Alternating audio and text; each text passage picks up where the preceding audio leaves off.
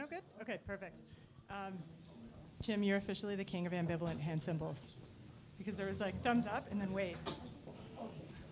Okay. Um, thank you everyone for being here. Um, now I think you're just messing with me. Uh, I one housekeeping item that I want to mention: we do have uh, some cypherpunk love no photos buttons. So if you don't want to be in a photo, um, please grab one of those buttons from the front desk. Um, if you see someone wearing one of those buttons, please don't take and post their photo. That's it. Super simple.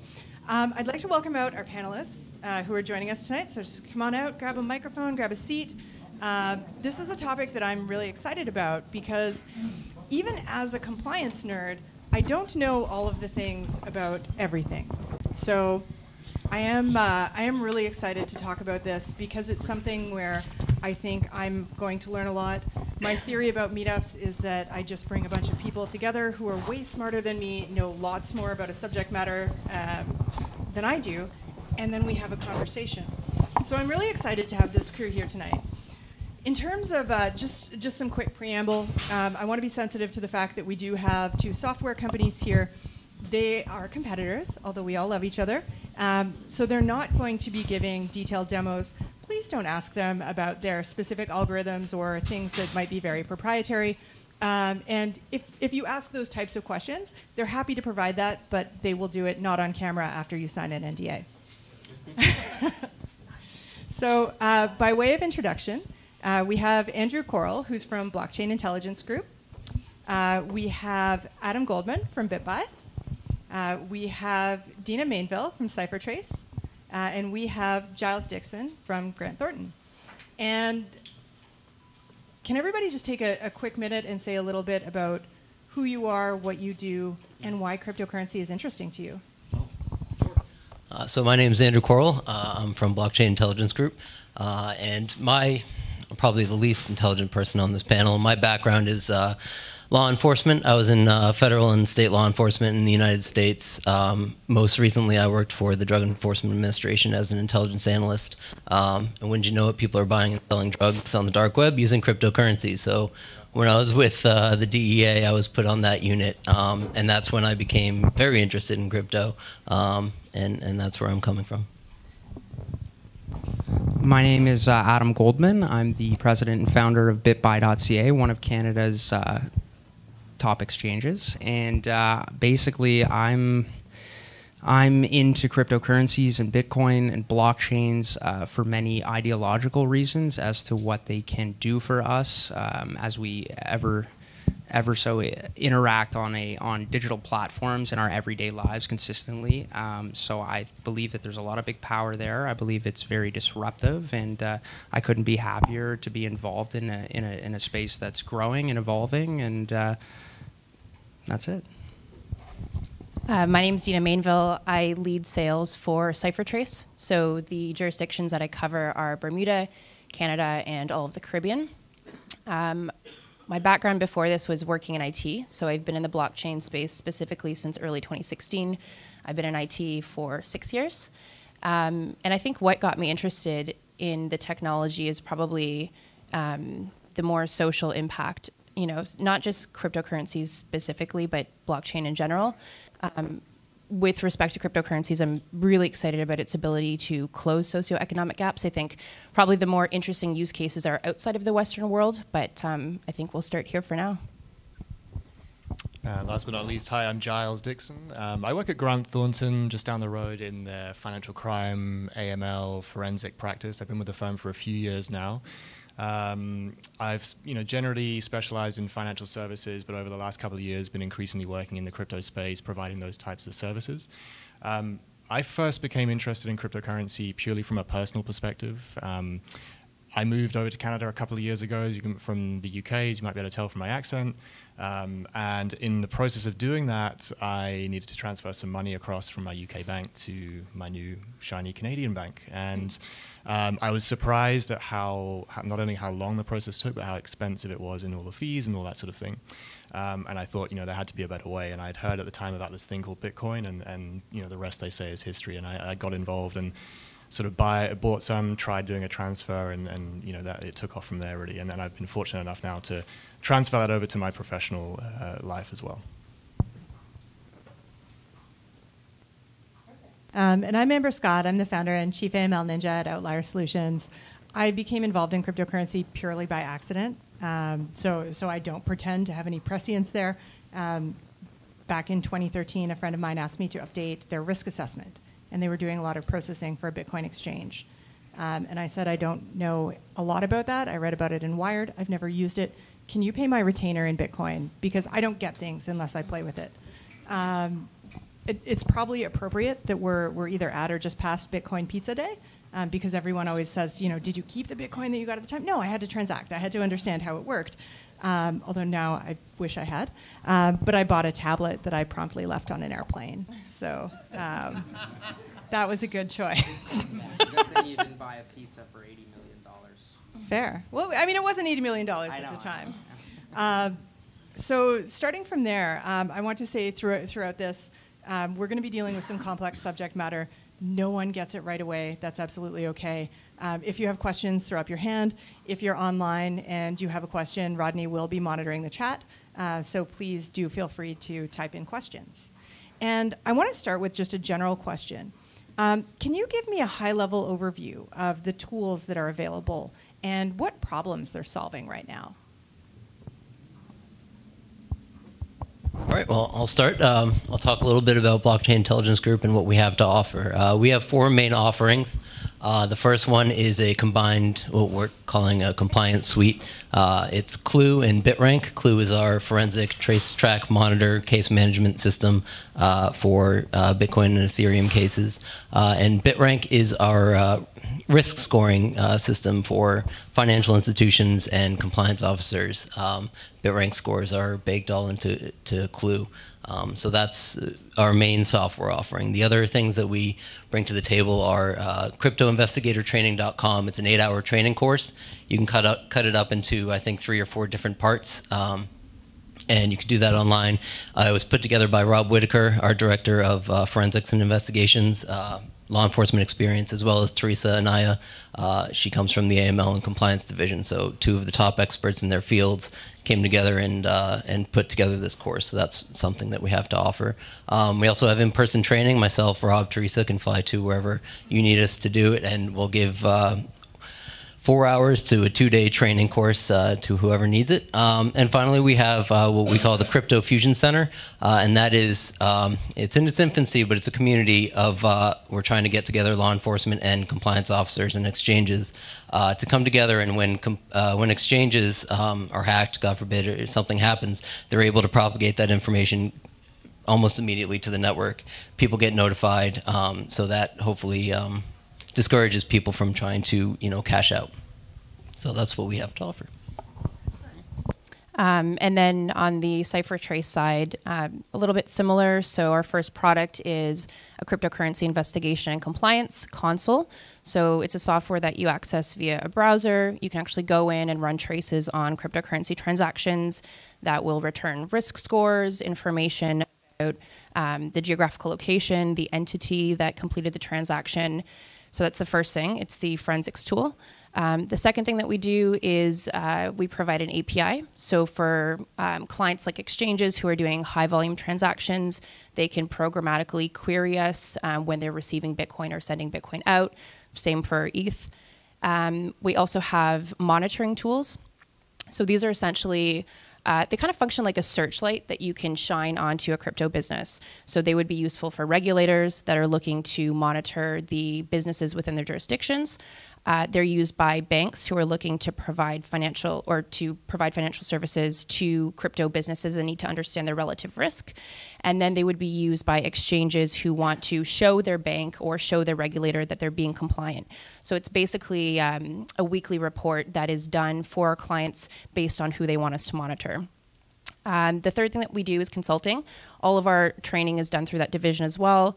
Uh, anytime clients need white papers, so we've been getting a lot of inquiries about things like Bitcoin liquidity, uh, market manipulation, all of those custom requests are done through consulting. I'm glad that I have some music for this. Thank Mood you. Music.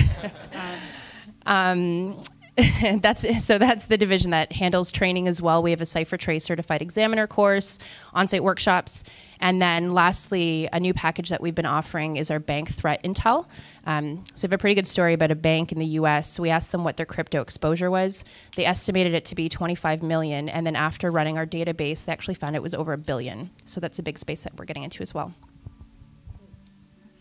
Sure, I can uh, I can jump in on this a little bit. Um, so so my view is more from the exchange operator side. So uh, a company like ours is uh, is a perfect candidate to be able to use the different tool suites from different companies. Um, and uh, we use a whole host of things. Most of them are third party if they are um, you know very intensive at looking at and historically gathering large databases of information that we would like to cross reference our own information against.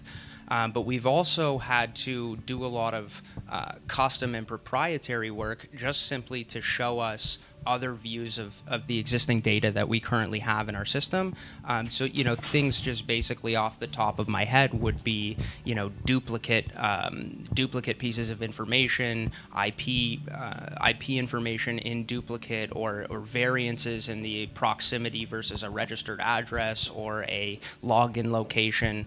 Um, we monitor uh, pretty much everything on the network stack that we can in order to determine the validity of a, of a true actor. Um, so a lot of the times we're able to see whether somebody's using a VoIP number um, that they wish to get rid of after they've transacted on a platform, uh, which which obviously presents a challenge in order to go after such a person. Um, there's also um, there's also uh, obviously leveraging platforms and tools like uh, CipherTrace, for example, where you can really have deep insights into the crypto flowing in and out of your platform.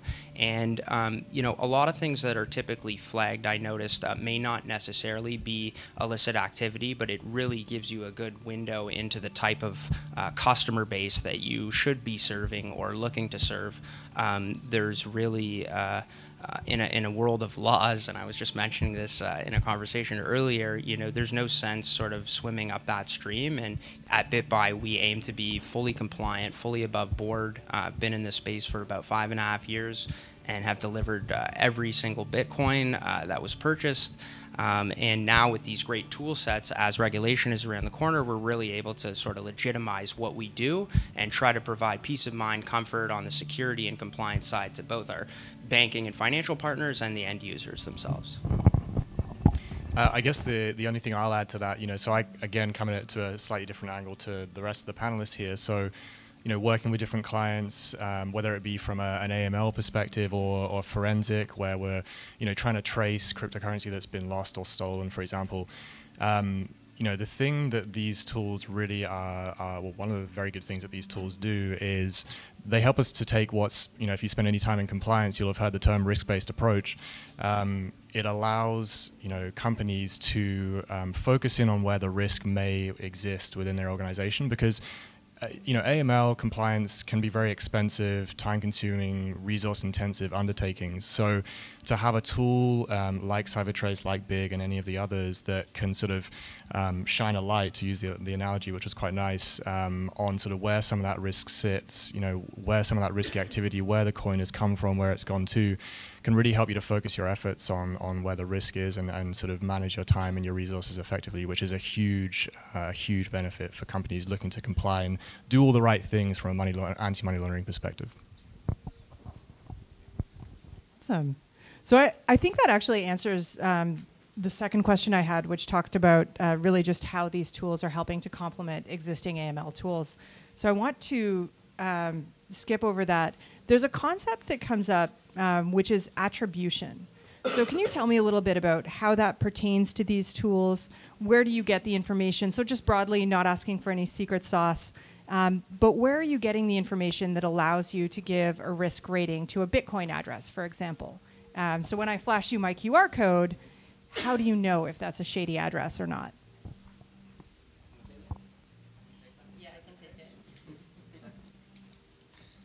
Um, so, uh, so there, I mean, every company is going to use proprietary mechanisms to get this type of information, but I think it's important to kind of at least speak at a high level. Um, so when I met CipherTrace, I didn't believe that they could do this stuff. And I know Bitcoin at a technical level, and that's kind of why I was like, this, there's no way that this is happening.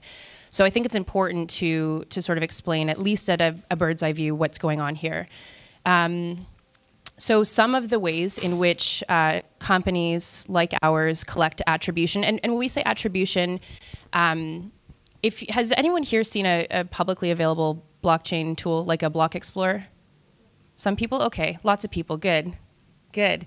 Um, for those of you who haven't, uh, it's it's your distributed ledger, right? It's the thing that you can log into and you can see that an event has happened on date X at time Y, and you see two alphanumeric addresses and you see a hash, and it doesn't make a ton of sense for most people. Um, it doesn't tell you the nature of the transaction. It doesn't tell you anything about the profiles of the the people or the entities that have you know participated in that transaction.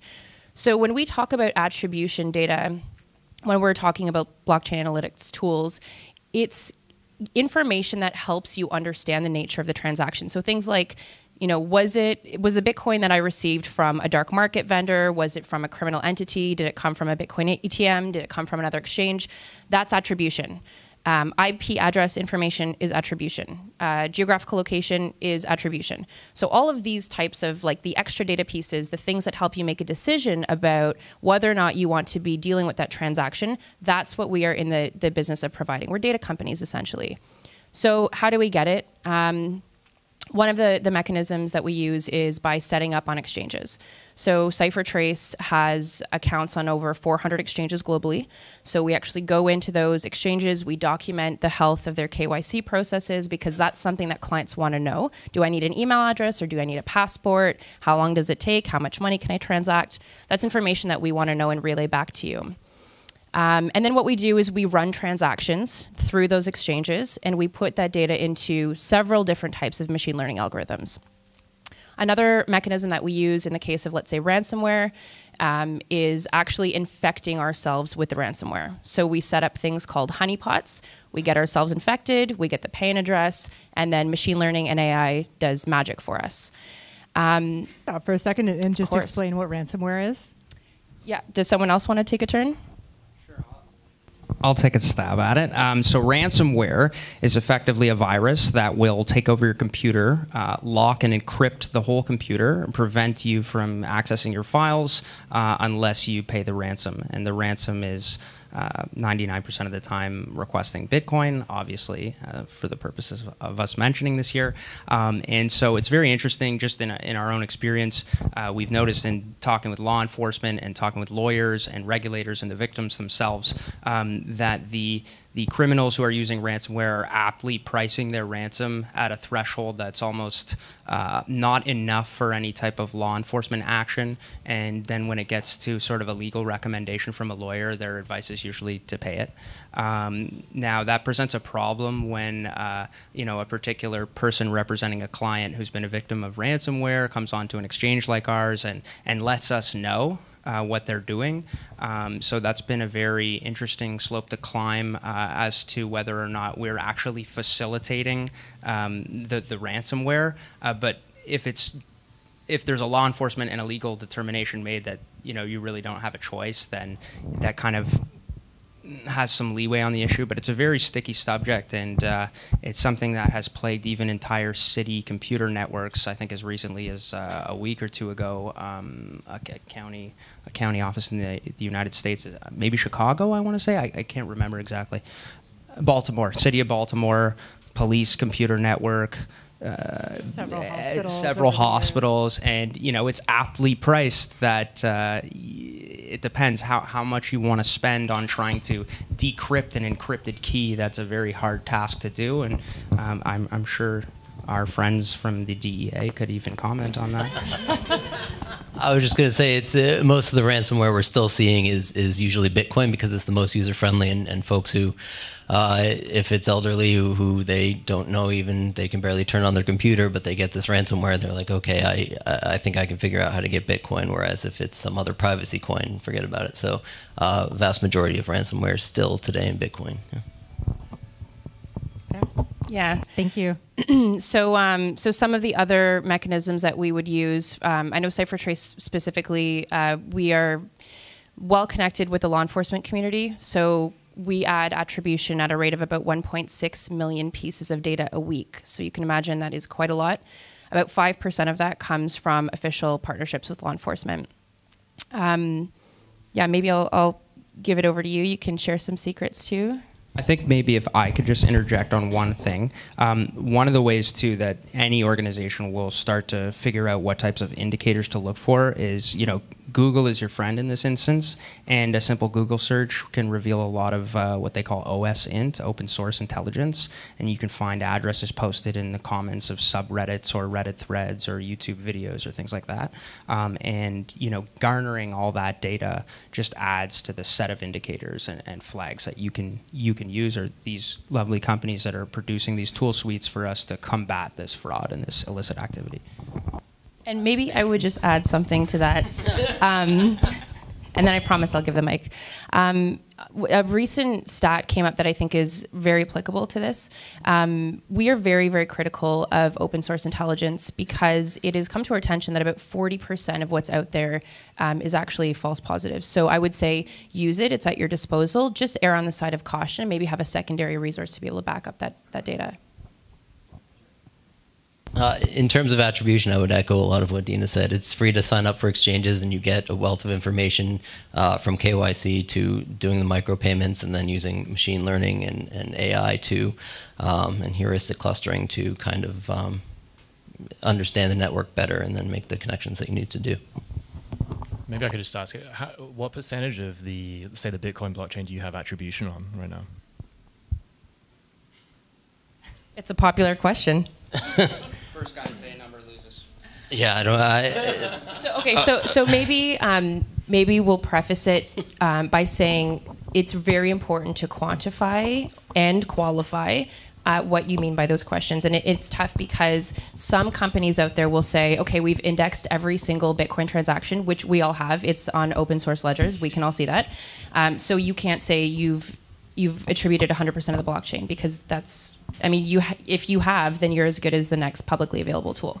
Some companies will say, okay, uh, we're counting direct transactions and then one step out, and we're calling that attribution. So it's at least for CipherTrace, it's a, it's a difficult question to answer. I could throw out stats, but they're not going to mean much unless we have a discussion about what specifically we mean. I also will not answer the question with a number, um, but but it, like Dina said, it's it's all about um, you know what you you're already aware of, and then one to two hops out, um, and then you know always keeping up to date with with um, the community and new. Uh, exchanges that are coming out, new darknet markets, and, and things like that. So um, you can never really get 100% of it um, attributed accurately. Giles, we're supposed to help each other. By the way, I, I, I should say I use CipherTrace and it's great, and you know the attribution is definitely there, and there's a lot of it. So I will just preface that. Yes, uh, we have a question. Joseph Ayuso, Chief Anti-Money Laundering Officer at BitBuy. yes, sir.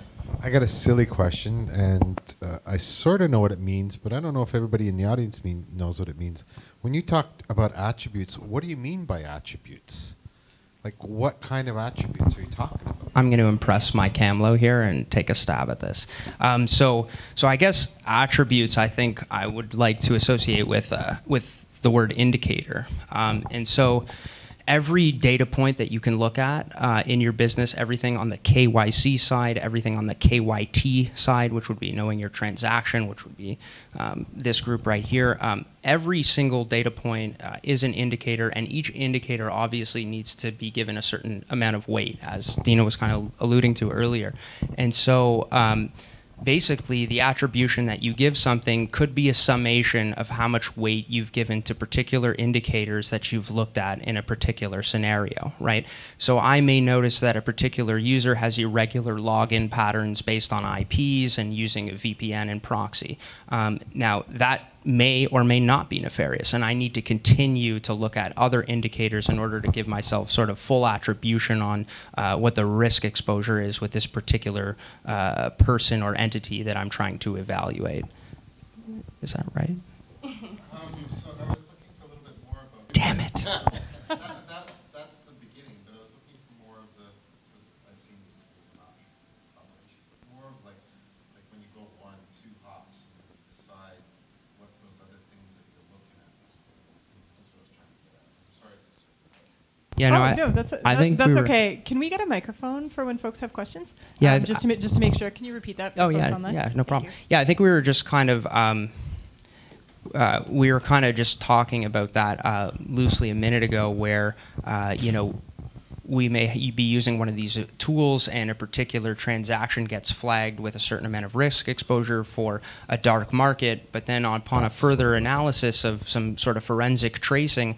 Uh, you know, I see it's five or six hops away from the destination that my infrastructure sent it to, and so it's really hard to tell at a certain point as you as you go down the chain, if you will, uh, if the person that transacted on my platform is the same person who's transacting a few hops away from the transaction. So that's uh, kind of a, a, a challenge What's for. a hop? Sorry. What's a hop? Uh, I was actually going to uh, address that. So a hop is simply, uh, let, let, uh, I mean, I may not be the best person to give a definition for this, but a hop is essentially, uh, you know, A to B, that would be one hop, all right? And then down the line C, that would be two hops away from the originating transaction. So that's kind of how we look at it. And, you know, on, on BitBuy, we may have a customer who withdraws one hop to a wallet they control. It may be a brand new address that they created on a free wallet service. Um, and then from there, they can send it to maybe a mixing service. And then from there, it goes to a darknet marketplace. And so that flow eventually has risk exposure associated with it, but it may or may not be the actual participant that we interacted with on our side of the hop, if you will. It's also important to look at exchanges and way where they're headquartered um, and the regulatory environment in those countries. That can have an impact on the, the risk score uh, that you're looking at for a, a particular address or wallet. I think we have a question in the back. Oh, just just for because we have folks online, if we could, that would be great. Um, you mentioned the concept of clustering. Um, when an address is in a cluster, um, what meet that address in that cluster? Um, that's the first thing.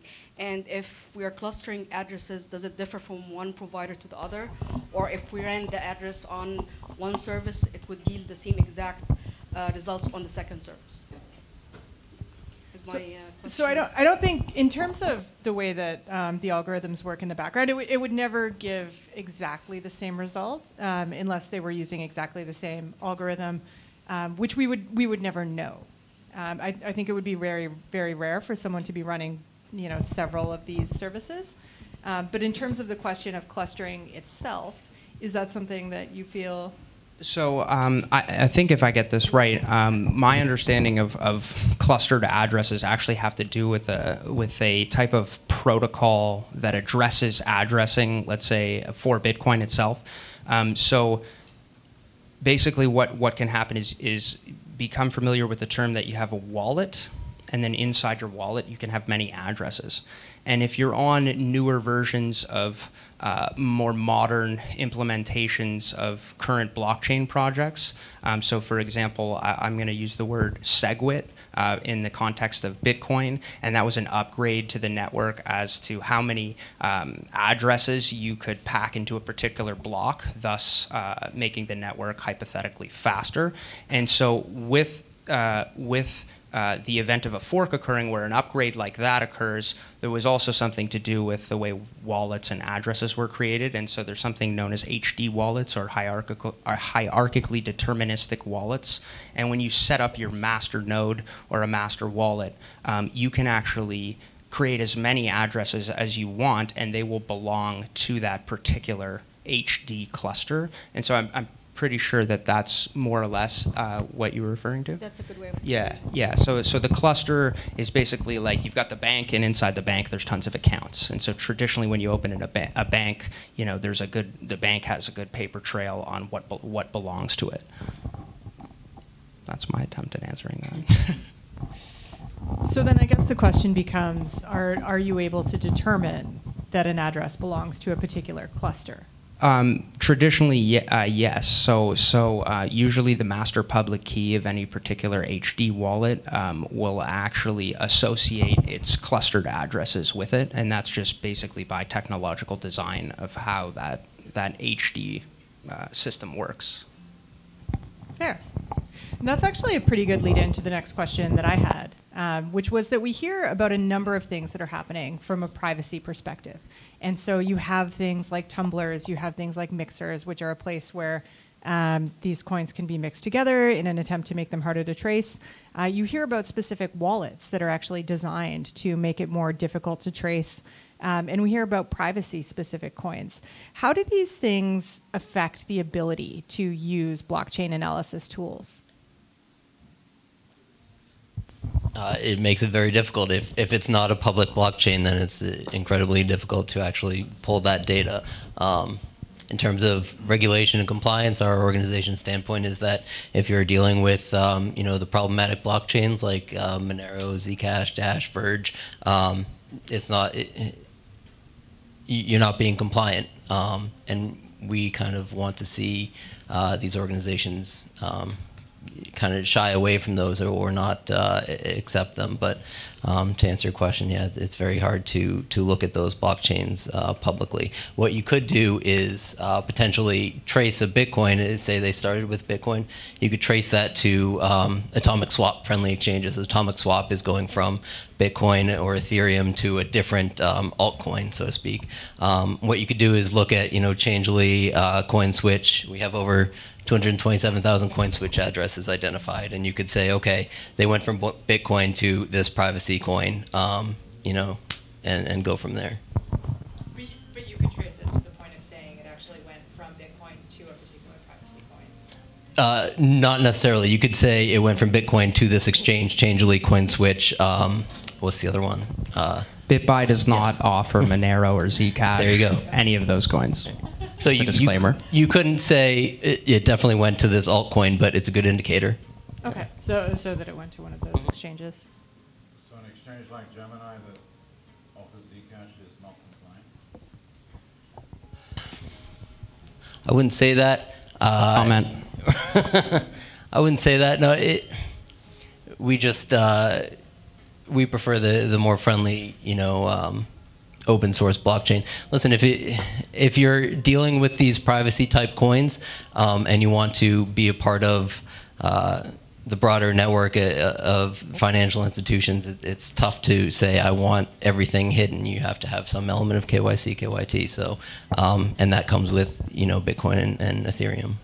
So one of one of the comments I, I will add just about Zcash and Monero is uh, they do actually have something called an audit key, um, which is available within those protocols. So that if you wanted to do, um, if you if I held a bunch of uh, Zcash or Monero and you wanted to audit that and actually be able to look at that, um, you could be granted access to do that.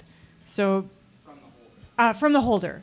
So, so while they are pri- privacy intensive protocols, um, there there are ways to look at those, but you ha- they have to the holder has to be willing to open up and provide that access. I think on Gemini, it, uh, it's open, like, that you don't hi- put- hide the address of the Zcash. Well, well, Gemini is a is a, I guess, a, a regulated and compliant exchange, and so I think when you sort of walk through the door onto Gemini, even if you're looking to get into the privacy coins, they're they're collecting the paper trail at least for your entry into such a coin. Um, so that in and of itself helps that side of the equation.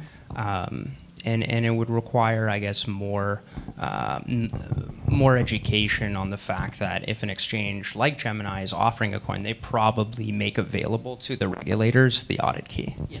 I speaking less about exchanges and more. So then about- it's not yeah. really Monero at that point. Right. Exactly.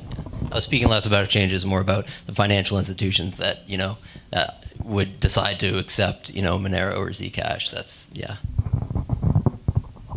And and currently we have no explicit prohibition um, in our laws or regulations that I'm aware of against privacy coins. Uh, we have a question in the back, Rodney.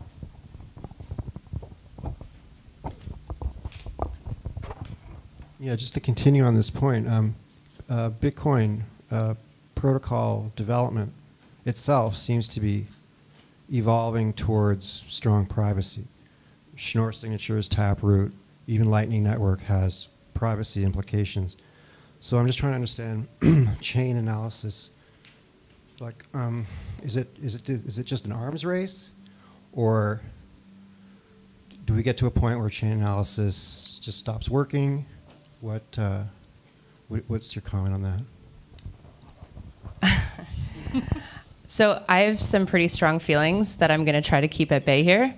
Um, listen, if you if you read the Bitcoin white paper, it's it's not a privacy coin. It, I think the word privacy is mentioned one time. Um, people that want to do nefarious things are not going to use Bitcoin. The reason they do now is because the regulatory landscape is gray, and it's been gray for the last ten or eleven years.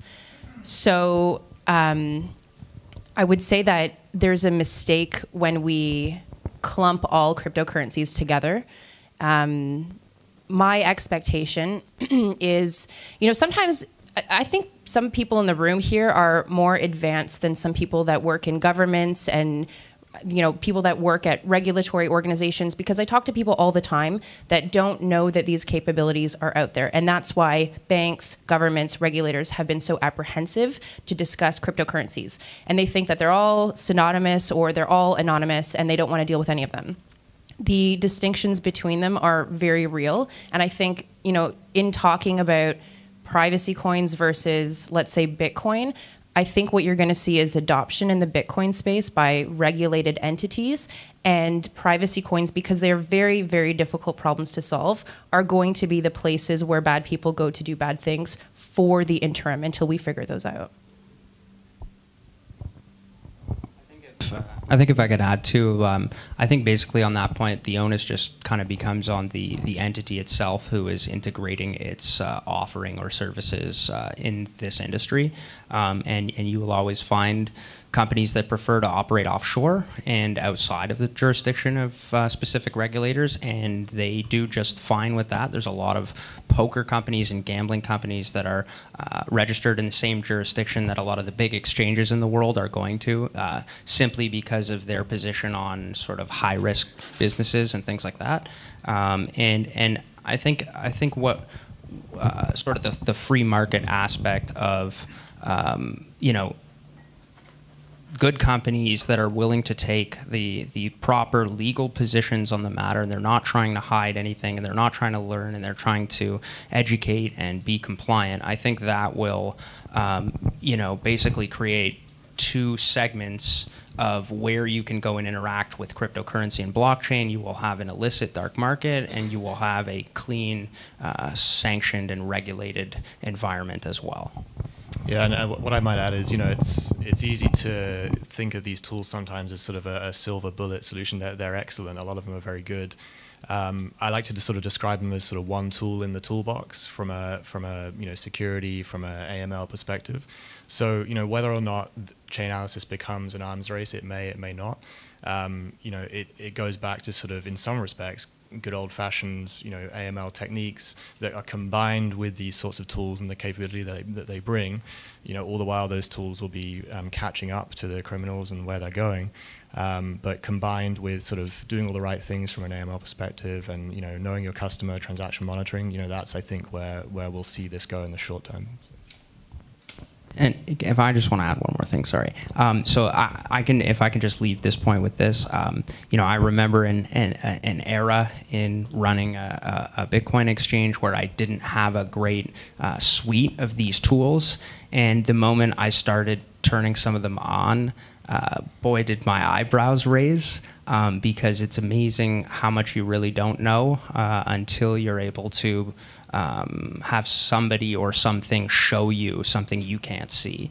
And, uh, you know, that changes sort of a lot of, you know, what our MO is at BitBuy. Um, it kind of, it kind of freaked me out a little bit that I can see the, all the, the, the, nature of risk associated with X percentage of coins flowing in and out of BitBuy.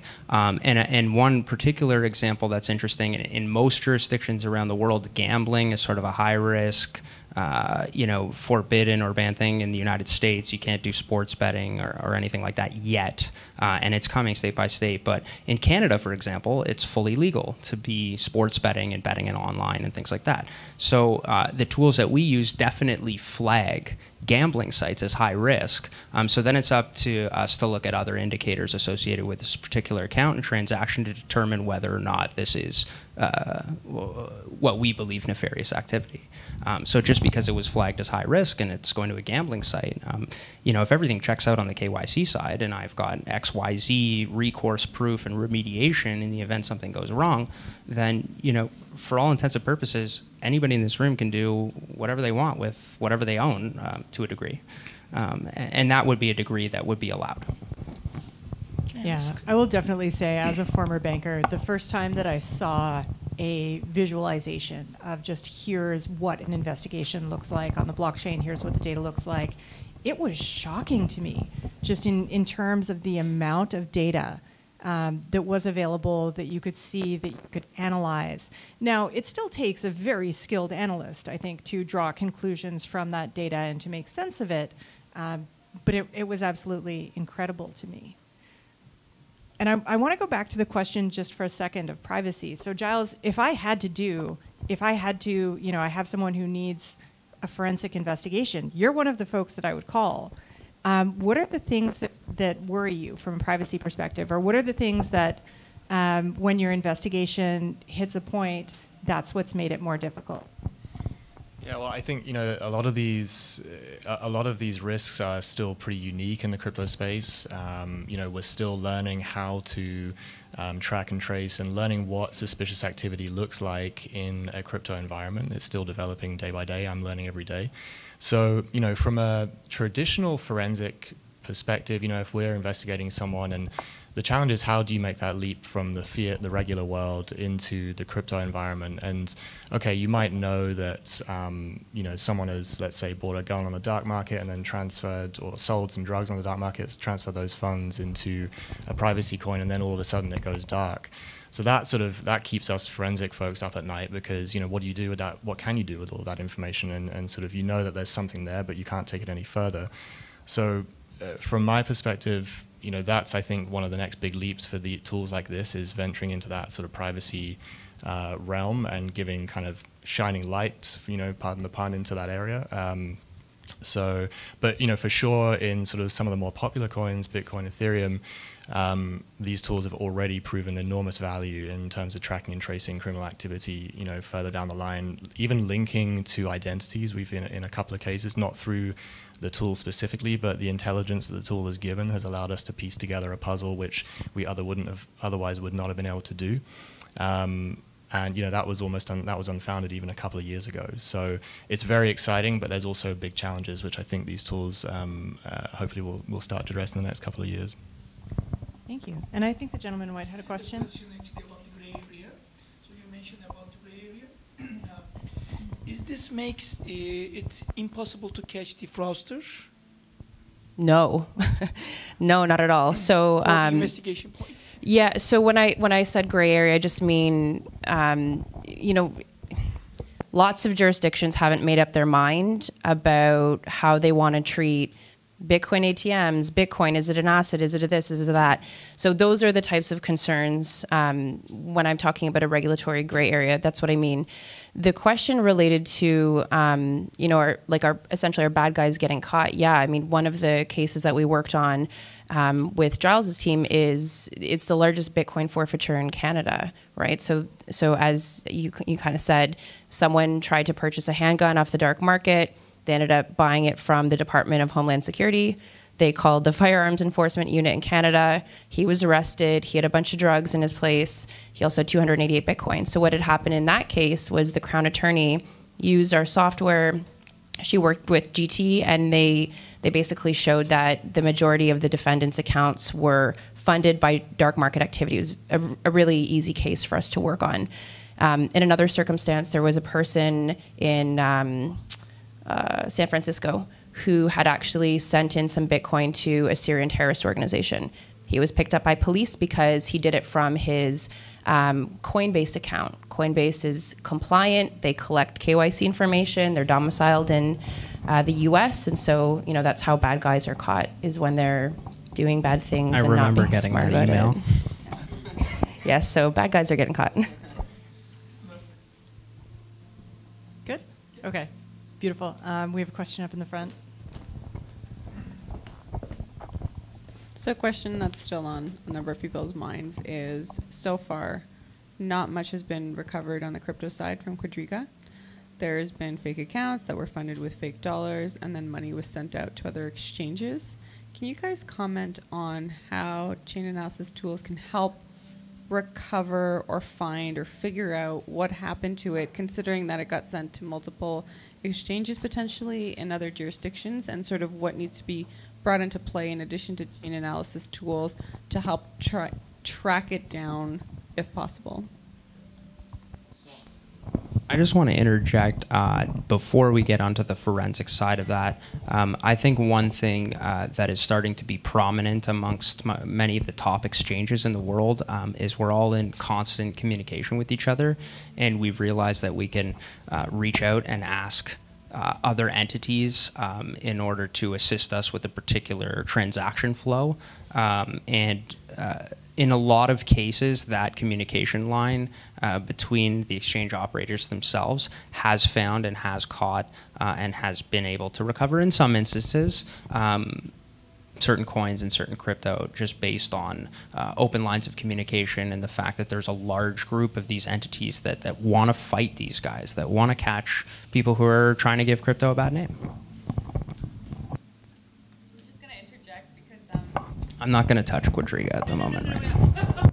But because of that, so the privacy is a big concern, right? So if it's in under Quadriga's name, fine. But if it got opened under Joe Below or whatever, right? They don't know if it was actually Joe or if it was Quadriga. So then, like, issues come into play there around like an exchange maybe not wanting to. I I don't know, but that's kind of And, and that's some of the concern that the, the CSA and the IIROC have uh, as well um, is is you know a lot of these exchanges they have hot and cold wallets and you have X percentage in your cold and X percentage of hot and they all belong to your customers but if there isn't an actual legal uh, paper trail that establishes a specific right to somebody, um, then uh, just like you asked, how, how, how does uh, how does Magdalena's balance that shows on Bitcoin um, reflect how many I have in the cold basket and how many I have in the hot basket? And let's say for the purposes of a bankruptcy or a liquidation sale, if those records don't exist, then that's fair game for creditors. Um, and so I think that's a huge concern that the, reg- that the regulators want to uh, address, and that's something that uh, you know we're all we're all um, hoping to satisfy and work with them to solve. But back to the tracing. Can you guys help? So, so what happens? Um, something's gone wrong. Uh, something's gone wrong. Coins, coins are missing. Um, you know what address they're missing from. Um, what happens then? So, um, so generally, the protocol, when whether it's a client of ours or a big exchange that let's say we're not even working with, when there's a hack or there's something big that happens like this, and their cold storage addresses are published, our team is on it. Like we're on it, we're monitoring it, and and we're not the only ones. Like everybody in this space, this is our bread and butter. So, um, in terms of being able to trade, like I'm not going to speak specifically about Quadriga because it's it's still an open case. Um, but the whole idea, I mean, when, so let's say you steal 500 million Bitcoin and you know that the whole world or there's a subset of people in the world that can actually see what you're doing, that makes you very apprehensive towards moving that Bitcoin. Um, so, I mean, I think the one thing is just I don't know if a scare tactic is the word. It's it's actually a real thing. We're watching what they're doing because that's what the technology enables us to do. In terms of recovery, that's going to be on a case by case basis, right? Um, let's say I stole 500 million Bitcoin and I want to give it to one of my two friends, and we're just going to use our phones and our hot wallets. We're not going to use um, an exchange to do that. There's nothing to say that that's not possible, right? The the thing that I think is important um, as it relates to Quadriga is uh, there people wouldn't be getting hurt and wouldn't be losing money if they would just take a little bit of time to educate themselves. You should not leave large sums of money on a cryptocurrency exchange that has access to private keys. That is a big no-no. So um, do some reading, figure out where you should put your Bitcoin. Use the the trading platforms as trading platforms. Um, and then we wouldn't have these problems. Um, I think a lot of people are mad at Quadriga, they're mad at the government, they're mad at everybody, but I, I think that we can also look internally and figure out where are consumers liable for essentially gambling, because that's what you're doing at that point. No, no, but but I get it. But we are in that situation. Sorry, just No, but no, just want to get the question of Yeah. like how but we're stuck. Like I'm I'm on the Quadriga, like I'm an inspector for the trustee, so for the bankruptcy, and like we're still to to see what EY comes up with. But let's just assume worst case is you know there's many jurisdictions. Like how can chain analysis help try to recover, or can it even, or what are the limitations? Like I'd like to understand as an inspector what can we do. Yeah, and, and maybe what I would do is encourage us to take the conversation offline. I'm sure the two of us could run some traces and, and kind of show you what we can do. I think EY has a proprietary technology. I don't know the specifics of what they do or how it compares to what we do or our competitors do. So, again, it's going to be on a case by case basis. Hello? but um, yeah, I think we can probably help. It just, it's going to depend on what things look like. Sorry, I know it's not probably exactly the answer you want, but that's kind of the reality. I think too, like a, a specific example, like let's say, uh, you know, hundred million dollars of it went to uh, an exchange in Germany that happened to be registered uh, and kept records on the person who liquidated such assets. Then there may be a chance there when, when uh, on one side of the transaction you can present to the law enforcement agency or regulator or entity on the other side, hey, I have all this information. Uh, can you help us? And, and sort of that's what that's what we that's what I was kind of alluding to with sort of the channels of communication that are open between some of the top exchanges. Um, so you know, just not to get into too many details, but I did have a customer uh, a couple of weeks ago who got phished by somebody claiming to be a BitBuy employee, and sure enough, this guy gave him full access to the account, even though we have pinups on the site that say no BitBuy employee will ever ask you for a password because I can just reset your password. Um, that that was a weak joke, um, but basically. You know, there's there's a lot. This alludes back to what Dina was saying. There's a lot of education that's required uh, in order to interact with something uh, as as as advanced as this blockchain technology is. Um, and there's a proper way to use it, and there's an improper way to use it. And I think the lack of education always and every time will highlight the improper way to use it that results in theft, loss of coins, and situations like Quadriga. So I, I absolutely respect um, what you and what Dina are saying. I, I think education is incredibly important. Um, if you are not sure where to go for Bitcoin education, so if you're at that point where you're like, hey, I'd like some Bitcoin, I'm not really sure what a wallet or a private key is or how to use it, Rodney, can you wave? Uh, Rodney has some copies of the Bitcoin white paper um, in analog on paper. Um, and in the back of those, there, is, there are actually a number of different resources. Um, I'm, I'm relatively sure that anyone that's sitting up here would also happily talk to you a little bit about security, um, and that Magdalena and a couple of other folks here would be willing to do that as well. Um, if you're not sure what it means to secure a wallet, um, to hold your own private keys, very, very happy to have those conversations because I think they're important.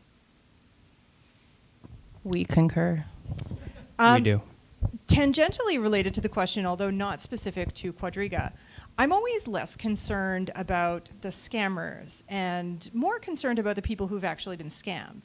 So if I'm in that situation where I've been a victim of ransomware, uh, where I've been phished, where now the Bitcoin has left my wallet, um, and I want to do something about it. What are the steps that I should be taking to make sure that you can help me?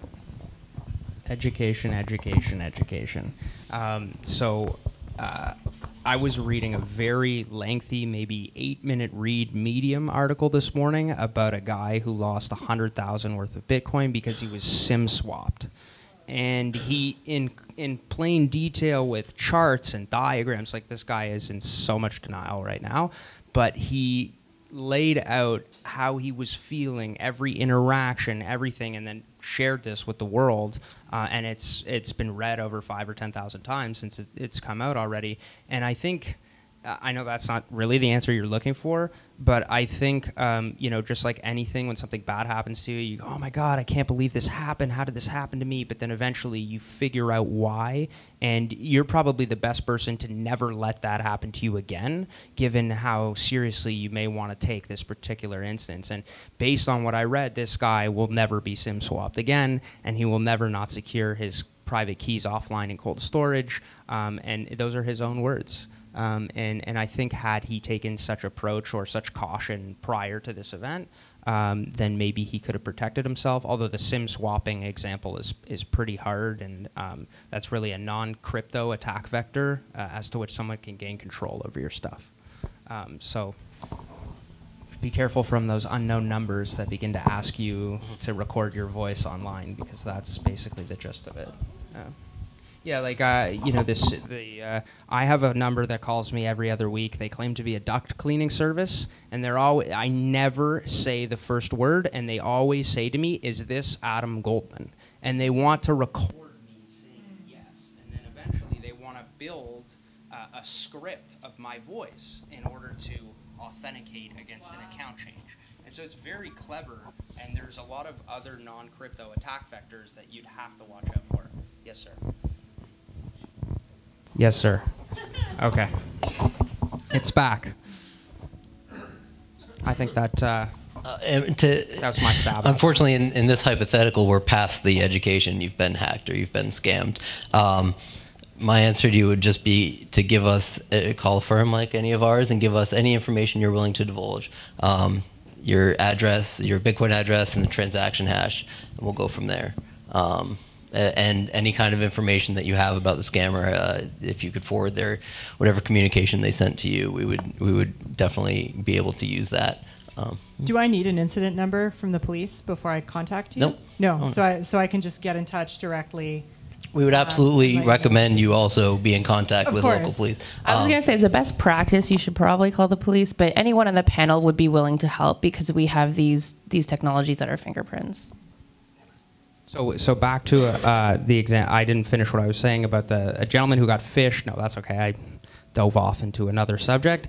Um, uh, so we have a, we're, we're very close with certain uh, forensic investigators and things like that as well, and we managed to. Uh, after the customer had given us some more um, data points about, you know, where did this go? What did he say? What email? Um, just by gathering the original email header that the guy um, was phished, we were able to ter- determine some weaknesses in our DNS protocol, and so he was able to pass off looking like a legit BitBuy email. That's no longer the case. Um, but then further, these investigators were actually able to find this gentleman and maybe get back about five or ten percent of what he stole, and I thought that was very impressive. Um, and maybe that might be a continuing trend given the ineptness of, of criminals in general who are, you know, doing theft under 5,000 petty amounts and things like that. Um, they, they usually don't have the technical prowess um, to use it in, in a way that you may be able to remain anonymous.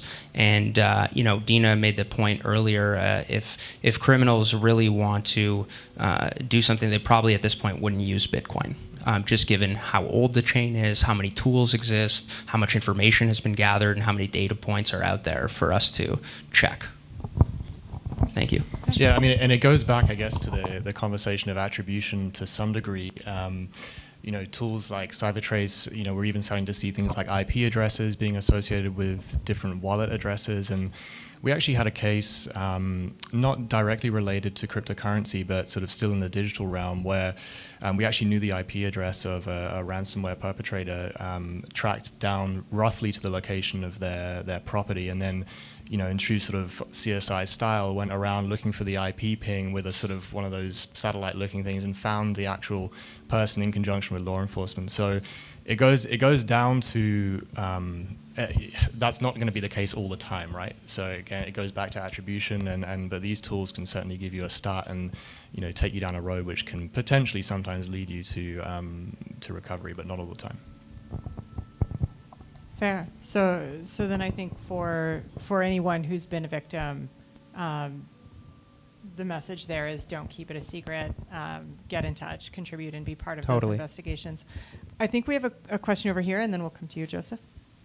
Um, I have actually two questions. Um, the first one for the IP. Uh, most of the um, illicit activities taking place over. Um, was there any instances where um, any of you guys know or um, directly dealt with VPN providers who can help? Um, or can they help? Let's put it this way. Um, the second question is, um, so I'm not going to use the Quadriga case because it's uh, a very hot case, but generally speaking, when you are um, um, stole some money, you kind of keep it secret, like you don't move it, like you said, because everybody's looking for you. Um, if you want to reverse engineer and look for previous hacks or stolen money, how long does it take for the person or the criminal to move the funds? How how long does it uh, take? For, um, does the activity become uh, dormant before they actually move again? Thank you. I would say that's. Go ahead, Dina. Uh, that's going to be case by case. Some there's some accounts that have stolen Bitcoin that haven't moved in years. You know, so again, it like I wish there was a canned answer for all of these really good questions. It's just, um, yeah, it's just it's it's hard to give a, a general answer. It's going to depend on a case by case basis.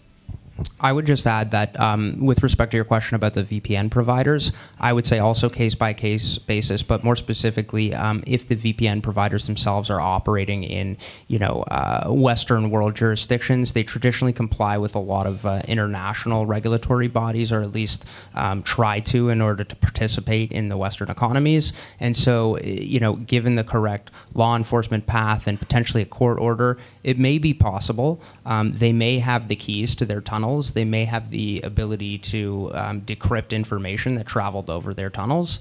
Um, I would imagine they probably do. Um, and uh, I think it would still be very tough, just given the nature of how uh, VPN providers are set up.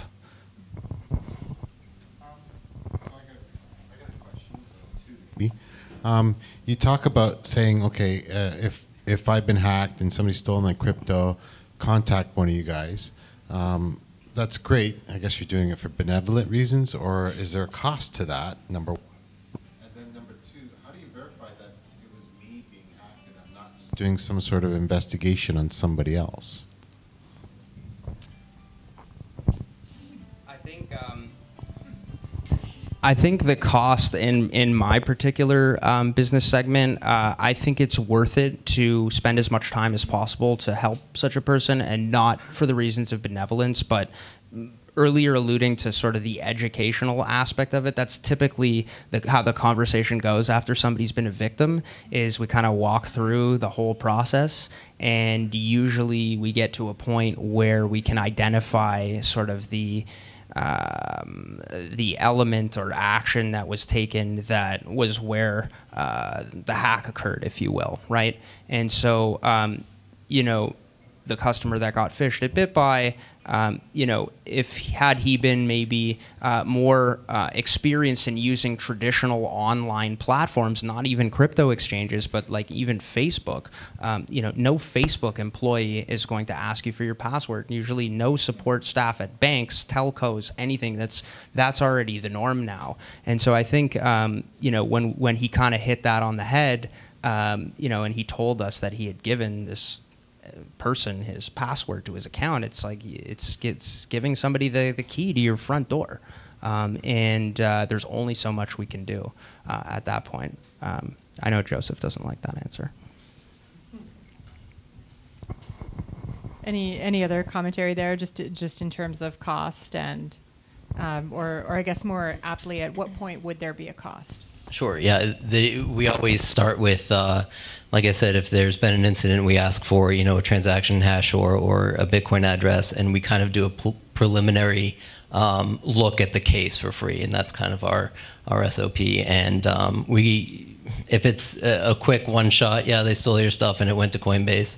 Um, reach out to them, and that, that's usually at no cost. But when there's mixers involved when there's you know a large scale hack uh, and there's there's many hops then um, I mean we're using our, our software and developers time um, so we will uh, give a quote but um, it, we're always happy to initially look at a case and, and let you know how big it is uh, how sophisticated uh, they're dealing with. Sometimes it's uh, say there's 100 bitcoins and then immediately it's broken into like two bitcoins a piece and then you're dealing with a, a serious actor and, and it's going to be a big case yeah.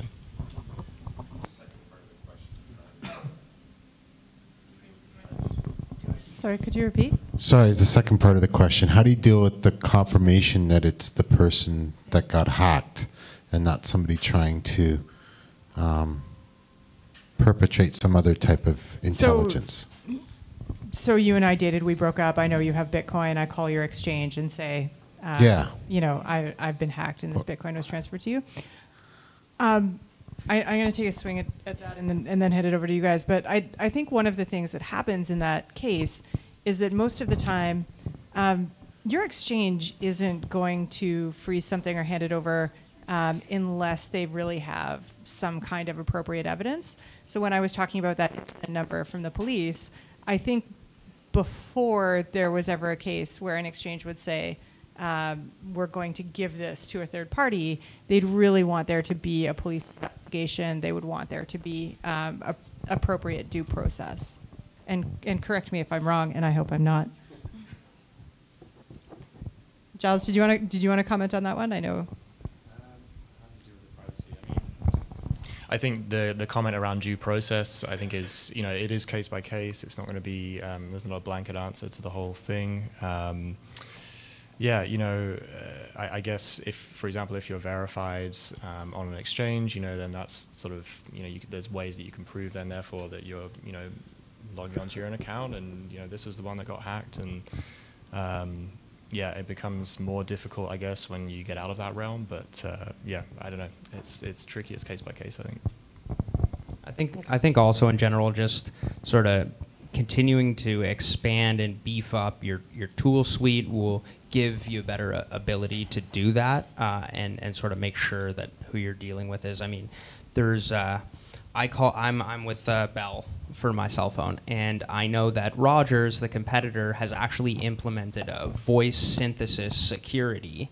So um, you can't just call it if you're this if you're a son, you can't call in on your dad's account and go, hey, like add this service or anything like that. But I think obviously um, there's a much more nefarious reason for wanting to do that. And I called Bell and I said, "Hey, I'm concerned with X, Y, Z, phishing, et cetera, this and that. Do you have this competitive, uh, competing feature that I could enable?"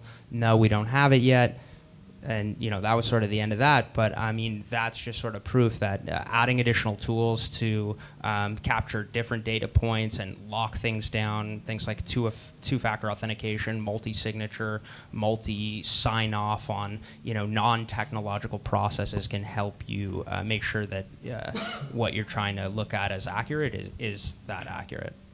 Yeah, and maybe just one more comment on the privacy aspect. So, I mean, it's it's blockchain we're dealing with. So if you somehow own the keys because your ex-boyfriend gave them to you, then you're now the the rightful owner of that account and what's in it, right? So I think just to reiterate that point, like be careful uh, if you have Bitcoin or other assets, make sure that you are the sole owner of those keys. Right. And, and oh, sorry. I was just gonna say, if it's not your private keys, it's not your Bitcoin and uh, and and so a lot of a lot of us are kind of uh, you know as we allude to keeping your coins off exchange and secured properly in proper wallets. Um, one of the favorite uh, methods today is to use a hardware wallet. Um, and while that's all great, it's using a hardware security module. It's uh, in, in, an encrypted uh, container on a little device that's holding the important information. Um, I think uh, you still have to be educated where you go, oh, okay, I'm going to get some Bitcoin. I'm going to buy a hardware wallet. I'll just go on eBay and buy this hardware wallet. Well, you may just uh, have made yourself victim to a supply chain attack where this device was opened up before it got to you, and the device was already signed or already seeded. we've, we've seen that. This is a real thing. Exactly. Yeah, any, anything that comes that's a hardware device that already has a private key associated with it, um, please don't use that private key.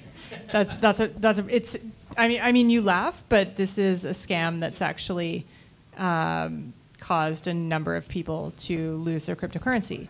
Is that the device will arrive um, and somebody's opened it and then resealed it and they've put in a nice slip of paper that says, hey, we've set up this device in advance for you, super easy. Here's the information associated with this device. Don't reset it. Um, just go ahead and use this information They're that, also that's here right now. Great at making fake copies today too. Like there are are very good looking fakes of both Ledger and Trezor hardware wallets that you can get. Um, and you know, when you analyze two of these boxes next to each other, you can start to see different things in the font and in the hologram used and the placement of certain text. And the average person doesn't really know or pay attention to that. Um, but you know, if if you're getting a hardware wallet for $100 cheaper than the MSRP from the manufacturer, then like you're risking however many assets you may put on that device at some point. Yeah, and, and as much as I generally speaking actually have a deep love for Amazon, uh, don't buy a hardware wallet from Amazon. Um, there, there are a number of fakes that have been identified um, on Amazon by the hardware companies themselves and by authorized resellers. So if you're buying a Trezor wallet, buy it from Trezor, uh, buy it from an authorized Trezor reseller. If you're buying a Ledger wallet, buy it from Ledger or from an authorized reseller. Um, don't, don't buy it on Amazon. Don't buy it from Arando on eBay. Um, don't buy it from the dude on the corner. Yeah. It's really cheap until you lose all your Bitcoin, and then it's really expensive. Chinmay. Oh, I, I have a question. So, in the past, I've lost a wallet. I've made a complaint to police. They did nothing. My brother has lost the car. It was stolen from the ghost station. They did nothing. What are the chances if I report my Bitcoin lost to police, even though I can prove that I know exactly where it has went, all those details? What are the chances, or at what, what threshold they will start caring and working towards it? So I can um, I can speak about the law enforcement organizations in Canada, and I can tell you that this is on their radar. I'm, I'm not going to promise you that if you call and say I lost $200 worth of Bitcoin, that you're going to get someone showing up at your house. You're going to get all their attention. But um, a few years ago, these tools weren't av- available to law enforcement communities, and so they were very limited in you know, and how they could help. Um, I think that will change over the next couple years.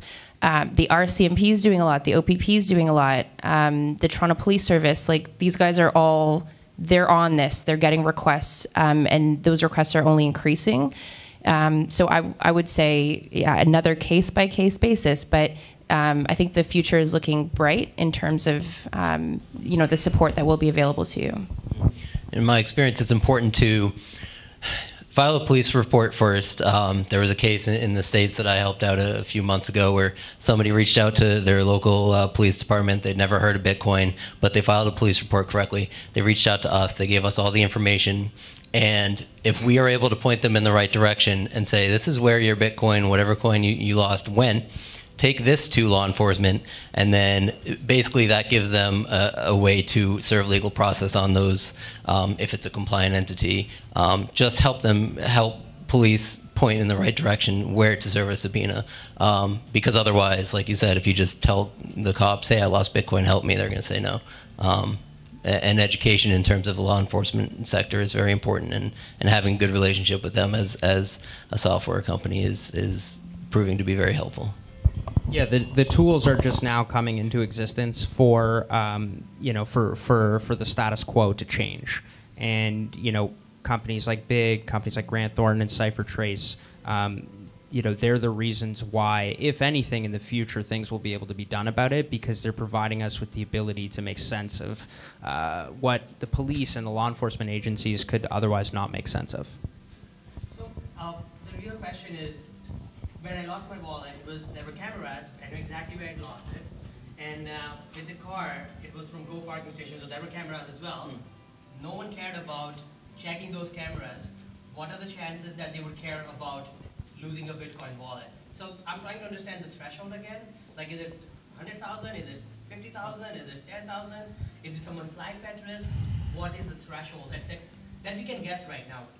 I think I think if he had to guess, I would just place it under how law enforcement deals with traditional theft and crime um, at certain values and ranges, and and so you know in the example that we gave with ransomware, they're pretty quick to price it at such a level where uh, if you call the police, they'll tell you, sorry, we can't really spend any resources on this to do anything for you. Call your lawyer, and the lawyer will just tell you pay the ransom. Uh, if you want your files back, uh, because there's no other way. And and your alternative would be to hire some, um, you know, recovery service firms and just hope that they have the ability to break uh, what's otherwise known as unbreakable um, crypto algorithms. Um, general crypt- cryptography is is pretty hard to break at the at the level we use it today. At risk of sounding really cynical on that, um, I, I, agree with you. Fraud is a major problem in Canada. Uh, we have a very low solve rate. We have a very low arrest rate. We have an abysmally low conviction rate. Um, and we have a police resourcing issue. And this is true from coast to coast to coast in this country. Um, but I have actually a lot more faith in certain things in this space than I do in the traditional space. Um, in that you're not entirely relying on the police force. And so what you're looking at is the tools that are provided by private industry. What you're looking at is the communication between exchanges. And so when Adam finds out, hey, this Bitcoin that just came into our exchange seems to have come from a ransomware attack, they have the ability to actually freeze any further transactions in that account, to do their own investigation, um, and to cooperate with the police in a way that essentially hands to the police on a silver platter um, here's a conviction, and, and if you're not going to go for that, at least give us what we would need to get this back to the rightful owner. And I, I think that's very different um, from just being reliant on police resources. You see these tremendous resources that are coming from private industry and private industry collaborations. A- And and to further allude to the cipher trade, uh, CipherTrace fentanyl case, I mean, it was CipherTrace's tools and technology that was submitted as evidence in a court of law, and so it passes that standard if it's able to be explained. Um, and I think we're moving much closer. And you know, if if that happened today, Chinmay, then I think you'd have a much better chance just due to the general understanding of law enforcement than you know four years ago. Um, I remember when I first first ever got into Bitcoin, I wanted to sell Bitcoin, and so I would buy a little bit of Bitcoin and I would sell Bitcoin on eBay and hope to get a payment. And sure enough, after 12 in a row, perfect sales, eBay goes, nope, these are all fraudulent transactions. I call Bitcoin, I call PayPal, hey, do you know blockchain transactions are not reversible? What the heck is blockchain? And so I was SOL on that. Um, but you know, now there's overtures that PayPal is going to be accepting Bitcoin. So there's an there's a point in time where they have no idea, and we move closer and closer as the industry evolves um, at being able to do something about it. And I think going forward, um, the status quo will change to uh, being able to do something about it. Because you know, one point I often make is there aren't even tools as good that exist in the blockchain space right now for traditional finance. The fact that I can use several tools to follow everything back to the beginning of time for a crypto transaction, that just doesn't exist on the SWIFT network or the EFT network or the ACH network or any of those rails. And so I think this this element or space has the ability to redefine the sort of traditional technology mechanisms that our traditional fiat currencies and, and, and money wiring and movement services um, work. And if they start to go the blockchain model, then we could definitely start to have tools in the traditional space like you see being created now in the crypto space. Thank you. Um, in terms of in terms of these tools and where they're moving, um, for someone who wanted to learn more about them, for someone who is potentially interested in working in the field, what kind of skills are important? So what do I what do I want? What courses do I want to, to take? I, I think what I've noticed is that um, the crypto industry is filled with professionals from all across other disciplines, right? So you've got people from uh, fintech, you have pure programmers, you have math people, you have compliance people, you have payments people. Um, all the different uh, professional industries are beginning to um, overlap in sort of the crypto world, and I think um, you know that's sort of. Uh, uh, that should just tell you that even though there we've got to a point where there's courses like like what BIG is teaching and things like that, and you get very deep into uh, crypto technologies, processes, how exchanges work, etc. Um, that um, oh, I just trailed off into oblivion. But basically, um, you know, There being a lot of different industries. yeah, there, there, there's so many different industries that overlap into this industry because when you look at cryptocurrencies, it's just a financial application of cryptocurrency. But then when you talk about non-financial applications of cryptocurrency, all those same minds can still cross over into the space. But traditionally, uh, uh, uh, you know, I would say a, a traditional understanding of some some basic macroeconomics, microeconomics, coupled with uh, sort of the internet world that we live in today, uh, and and that we, we all live online and we're all five seconds away from uh, web communications. Um, you know that's a good start because all these courses and degrees are just being made now. Like when I got in, there was just there was nothing um, as far as that. Now, you could be a professional in a mathematics discipline, and if you're building blockchain technology, um, that's probably sort of the best in that specific route. But I think the, the accounting people and the compliance people are going to be the best people to overlap into crypto to solving those same problems, um, for sure. But I, but I think I kind of dove off as to um, you know, what you would at least want to know to start because we've now arrived at a point where Oxford teaches courses, BlockGeeks teaches courses, BIG is teaching courses. Princeton, University of Princeton Nicosia, University. like there's some good Yeah, stuff out there. yeah, and that's all fairly new within the last three to four years. Yeah, and, and I would say, I mean, um, bringing a certain level of business acumen to this industry is wonderful. Being able to work in sales capacities is wonderful. Um, but you know, you can always tell when you you're talking to someone that really gets it versus someone that just you know talks the talk, walks the walk, but doesn't really understand why or how. So there are so many resources that are available that are free, two of which I mentioned. The University of Nicosia offers a free course. Um, I think it's called Intro to Digital Currencies. Princeton offers a fantastic course. You don't even have to do the technical stuff if you don't want to. Um, and I think that because this industry is so nascent, if you can equip yourself with a foundational understanding of how blockchains work, you are going to be a really, really powerful person in the next couple years. So while I think the traditional business stuff is great, I, I think there it's very easy to carve out a niche for yourself in this space. Yeah, and uh, I, I sort of add, you know, these tools are designed and have been designed really well to be intuitive and to, you know, without uh, too much training, you can really look at one and sort of start to get value from it pretty quickly. Um, you know, it's important to understand, you know, as Dina's mentioned, the fundamentals. Even, you know, what is a wallet? What is it an address? We've talked about clustering as a concept, which you know a lot of these tools are based on.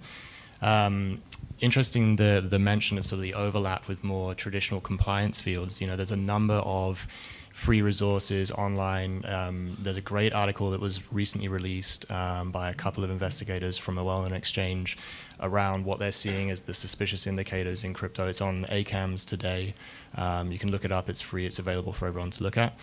Um, so, you know, in addition to the fundamentals of how blockchain and cryptocurrency works, to the extent that you can start to understand you know what suspicious activity looks like from a money laundering perspective, be it in regular fiat world or in crypto. Um, that will really give you an edge when you start to look at some of these tools and what these tools can show. Um, because combining those two things, and you can say, okay, you know, that's change. Or no, that looks like it might be structuring. Or you know, all those common terms that we hear from a money laundering perspective do apply in in crypto. So.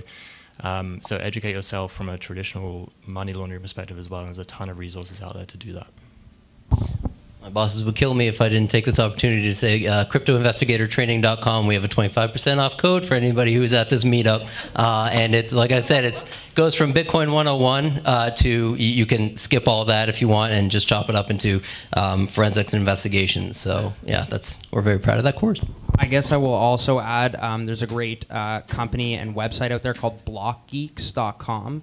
Uh, which was founded by a good friend of mine. And um, basically, they have everything from sort of high level paid for courses all the way down to free webinars and just simple how to guides. There's tons of content posted on there. And, and you know, the name of the game is basically continuing to educate yourself. This is a new industry and it's a new field. And, uh, you know, my, I didn't mention my background at the beginning, but my background is, is as a computer analyst. I was basically a you know, glorified IT guy uh, in my teens into my early 20s, and I worked at Yahoo for a little bit, and then I worked at, in the web hosting space. And I think my understanding of network technologies and, and sort of the basic, um, you know, understanding of how technology has actually changed the world decade after decade um, led me to led me to just identify that it, it would be as disruptive as it's become. Uh, and I think uh, you know there there really isn't such a particular base that you should have at this time, other than teaching yourself as much as you can. Because you know, I mean, who here watches YouTube videos to learn things? I, I think probably a lot, uh, from cooking to fixing light switches to plumbing to replacing hard drives, you name it. And and I think. Uh, um, the fact that we have access to such information at our fingertips helps this industry move so much quicker. And even only after 10 years, there's private entities offering these AML tools, these compliance tools, these forensic tracking tools that not even the traditional banks could figure out if you paid them a billion dollars. Um, and so, um, just learning is the name of the game. All those resources that were mentioned, um, those are the best places to begin. Beautiful. I think we had another question in the audience. Uh, yeah, I had a question for Dina. Um, you mentioned crypto risk, and as somebody without an anti-money laundering background, can you um, explain that as uh, it relates to the bank? Yeah, what was the concept? Sorry? Uh, you said there is a bank that had one billion dollars in crypto. Oh, an exposure. Yeah. So, um, so the the general idea there is um, sometimes when banks are looking for things, they've got let's say keyword searches. Um, so one time, I'll give you an example. I went to TD Bank. I was trying to buy Bitcoin, and I had to do a wire on Quadriga, and the subsidiary bank uh, was called HK Valoris. And the teller looked at me, and this was early on, mind you. So I was like, no one knows what I'm doing. The teller looked at me and he said, Are you sending Bitcoin somewhere? And I was like, Are you even allowed to ask me that? So, um, so these are the, the types of um, search words, I guess, keywords that banks will, it- it's kind of like what they do to monitor their networks. So, our threat intelligence, it's basically like a data feed that we provide to them on a monthly basis. So, the, important story with that bank in the US is banks have been very hands off, at least in Canada, up until very, very recently. They've been very apprehensive about this space. And um, it's because they're thinking, we don't do crypto. Our, our clients are definitely not doing crypto. What the threat intel shows them is that at some point there's got to be this on ramp of fiat. You can't just you make crypto out of nothing, right? You usually have to buy it or mine it. Um, and so the threat intel is basically a feed that they can run against the searches that they traditionally do that shows them um, it's a much wider exposure net uh, usually. So that's kind of the gist of, of what it what it is, what it does. But if you want to take a, a closer look, um, we can we can do that offline. And we're getting on time wise, so I, so I'm going to ask you guys one last question, um, if I may, and then we'll hand it over for a couple more audience questions if we have time. Um, in terms of misconceptions, and I, and I think your lead into that was really good, just in terms of, you know, our customers aren't aren't using crypto. What are some of the common misconceptions that you've heard, either about blockchain analysis or about cryptocurrency generally? And then, if you're going to hit us with a misconception, hit us with the right information as well. Uh, uh, I think the biggest mis- misconception that we hear is that we're out to de uh, de anonymize the network, and that's just not true. Another misconception is that we're we're trying to just data mine and get all the information we can, and to an extent we are, but but we're a very pro cryptocurrency organization, pro Bitcoin. So we're not just trying to say "got you," like we know who you are. No, we're we're trying to provide the tools necessary for um, traditional um, banking and, and compliance institutions to create the reporting necessary to come into this space. So we're not just trying to de-anonymize, we're trying to make uh, Bitcoin more accessible to more people. So I think uh, my favorite misconception, um, just being in the exchange space, is that cryptocurrencies are anonymous. Um, clearly, after listening to us sit up here and talk on this panel, um, they're really not. Uh, they can be, depending on how they're used. Um, certain blockchains themselves do provide that, um, albeit with certain backdoors that may allow for some recourse, like an audit key.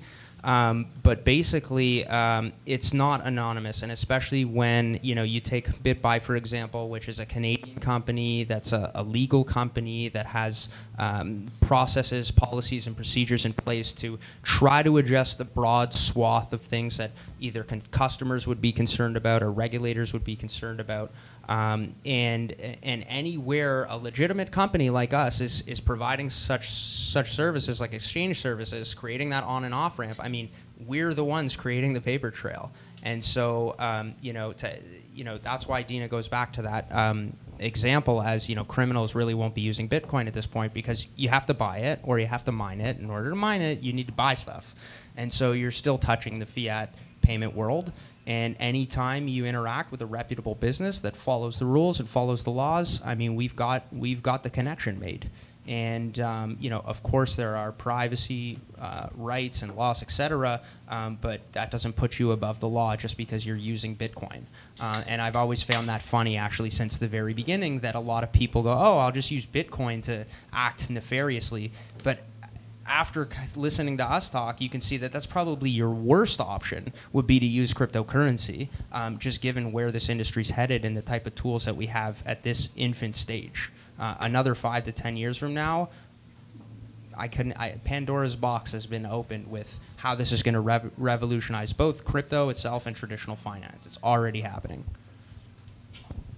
Hmm, which misconception do I like the most? There are a lot. Uh, there's some good ones that, that were mentioned already. So, yeah, Bitcoin's not anonymous, or um, yeah, it, it's not. So there's that. We already talked about that pretty extensively. Um, something that was mentioned already was uh, we are going against the ethos of what this was all meant to be by profiling transactions.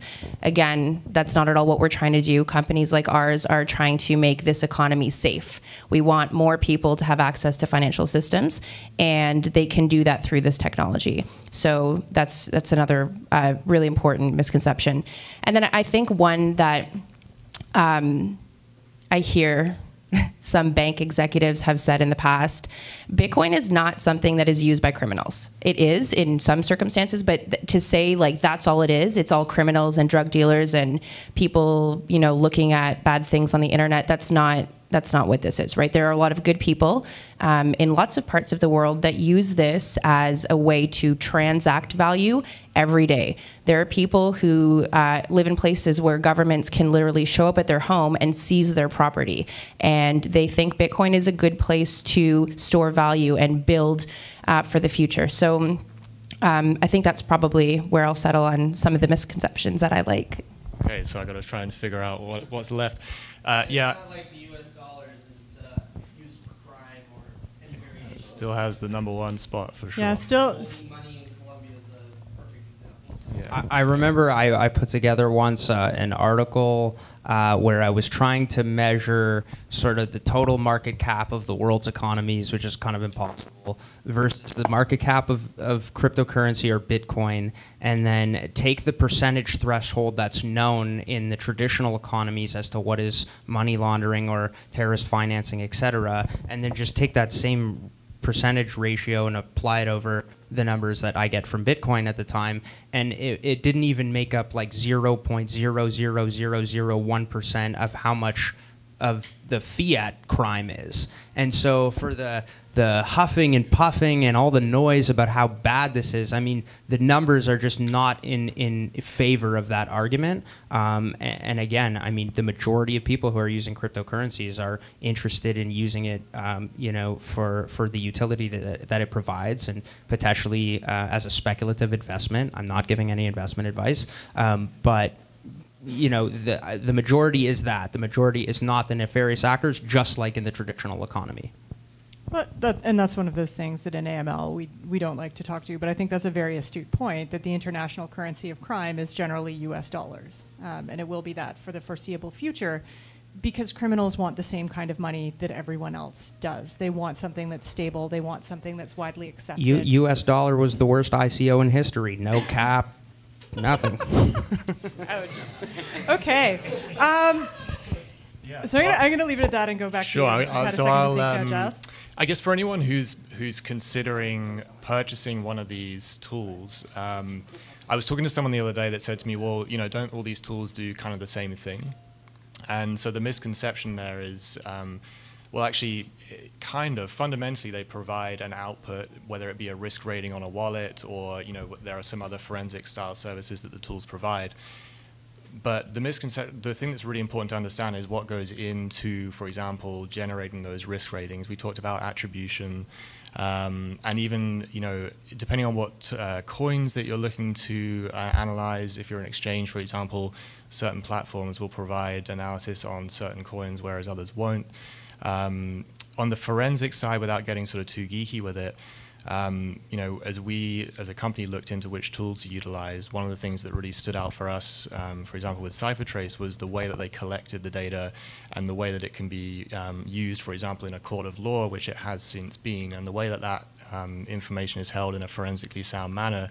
You know, that's a very niche sort of um, thing to understand, but again, uh, that we didn't see that with all the tools. So the misconception of sort of don't these tools all do the same thing? Well, fundamentally, maybe, but actually what goes into them is very different. And depending on what your need is and what you're looking to get out of them, um, you know, you should you should educate yourself on the type of questions that you need to ask those platforms, and that will steer you one way or another. And, actually, we quite often see platforms using multiple tools, um, particularly from the risk assessment point of view, because Um, you know, one wallet might be rated high risk on one platform, it might be rated medium risk on another. So, particularly for some of the larger exchanges that we've worked with, um, they use a, a, a, range of different tools to sort of help them get a spread on, on what that risk looks like.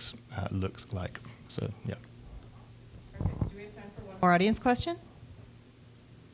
Do we have one more audience question?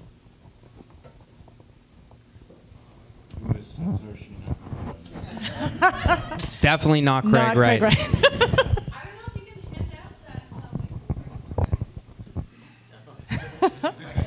okay, so so Joseph has a question, and um, I have a question.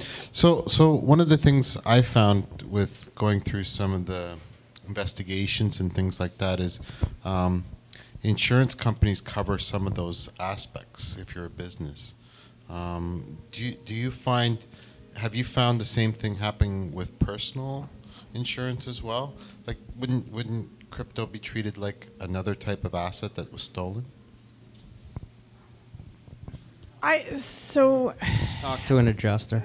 I I can comment on that um, just from my own experience of of insurance um, and even when we started taking payments in crypto, when we started holding crypto um, as a company, I specifically had to set out to find an insurance company just for, for us as Outlier because we hold Bitcoin on our balance sheet um, and have a conversation and see how that would be covered um, or not covered.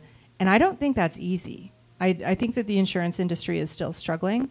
I think that it's something that really came out in the recent CSA consultation, so the CSA IIROC consultation. One of the things that they asked was, should Bitcoin companies, should cryptocurrency companies, um, you know, should companies that are dealing in broadly in virtual assets be required to have insurance? And in the industry consultations um, that we did, it came out again and again and again that it was very expensive to insure that it was really difficult to understand um, even what was being insured, so what was covered and what wasn't. Um, and it, it was almost impossible for exchanges and companies to get something that was that was happening at a reasonable price. So so I think that that's hard. Like, should it be insured? Probably. Is it? Eh. I, I think that we're going to have to have cases. I think. Um, It, I, I, guess my coming. question was a little bit more. Um, now that we're having better tools, have we contacted insurance to show them that these tools are viable to help them do that, do the insurance? That's really, I think, what was more of my I question. Think, I think one of the best examples of that would be uh, the company BitGo that recently announced that Lloyd's of London was going to be offering $100 million worth of insurance. I didn't read into the granularity of that, if it was for BitGo and what it's holding or individually for certain customer accounts. Uh, but nonetheless, I believe what's happened in that particular example is the insurance company has gotten comfortable enough with the custody technology and mechanisms that have been built at BitGo that would allow them to, to, to make such a decision. So I think, you know, um, a very strong implementation of proper private key management, accesses and controls and things like that, it's, it's certainly not impossible because, um, you know, crypto te- crypto technology would actually uh, allow for solutions to each one of the concerns that an insurance adjuster might have. And I think that's a, a good example of how it's starting to move the other way, just like um, you know with respect to how the compliance and forensic side of Bitcoin is helping uh, maybe change the attitude of law enforcement agencies and, and whatnot to, to, to go after um, and help a gentleman like Chinmay who lost his wallet. Um, and uh, you know the same thing is happening in the insurance side. So they're getting more comfortable, and I think the best examples for that are the um, the companies that are explicitly solving one specific problem in cryptocurrency and blockchain. So for a BitGo, it's they're the custody guys, right? And and you know that may actually make the the CSA and IIROC a lot more comfortable if an exchange operator like us wasn't taking on the custody infrastructure, but we used such a that has the insurance, the SOC 2 compliance, the whole nine as far as what would make everybody have that peace of mind. So this, this is actually probably a pretty good future panel topic. Um, the funny thing for me is that I know one, maybe two insurance people that could speak to this intelligibly. So if you know some, please send them my way. Um, we're going to end off there. I want to say a big thank you, um, Giles, Dina, Adam, Andrew. Um, a huge thanks to Blockgeeks for being here and filming. To Andrew for doing all of my wonderful organization, um, and to the Professional Center for the great space. Um, have an awesome night, everyone. There, there are still sodas and snacks and coffee in the back, so feel free to grab some on your way out.